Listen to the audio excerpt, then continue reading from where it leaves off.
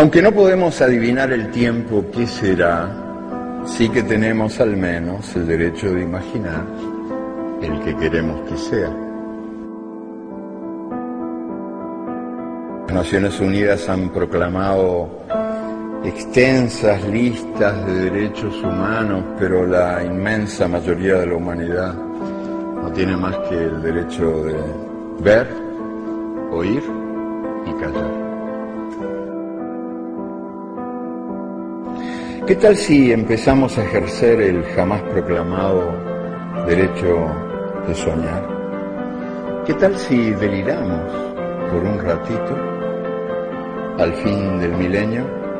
Vamos a clavar los ojos más allá de la infamia para adivinar otro mundo posible.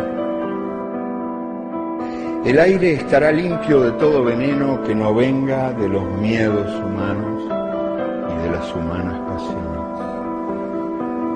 La gente no será manejada por el automóvil, ni será programada por la computadora, ni será comprada por el supermercado, ni será mirada por el televisor.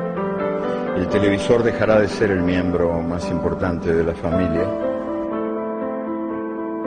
La gente trabajará para vivir en lugar de vivir para trabajar se incorporará a los códigos penales el delito de estupidez que cometen quienes viven por tener o por ganar, en vez de vivir por vivir nomás, como canta el pájaro sin saber que canta y como juega el niño sin saber que juega.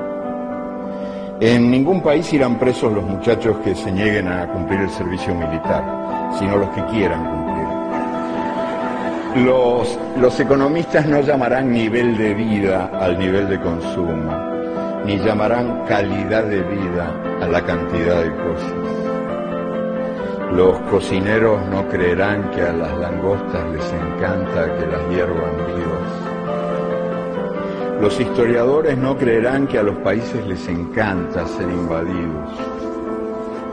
El mundo ya no estará en guerra contra los pobres, sino contra la pobreza y la industria militar no tendrá más remedio que declararse en quiebra. La comida no será una mercancía, ni la comunicación un negocio, porque la comida y la comunicación son derechos humanos. Nadie morirá de hambre porque nadie morirá de indigestión los niños de la calle no serán tratados como si fueran basura, porque no habrá niños de la calle. Los niños ricos no serán tratados como si fueran dinero, porque no habrá niños ricos. La educación no será el privilegio de quienes puedan pagarla y la policía no será la maldición de comprarla.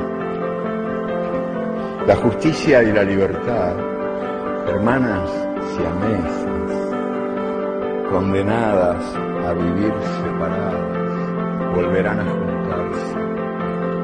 Volverán a juntarse bien pegaditas, espalda contra espalda. En Argentina, las locas de Plaza de Mayo serán un ejemplo de salud mental, porque ellas se negaron a olvidar en los tiempos de la amnesia obligatoria. La perfección la perfección seguirá siendo el aburrido privilegio de los dioses, pero en este mundo, en este mundo chambón y jodido, cada noche será vivida como si fuera la última y cada día como si fuera el primero.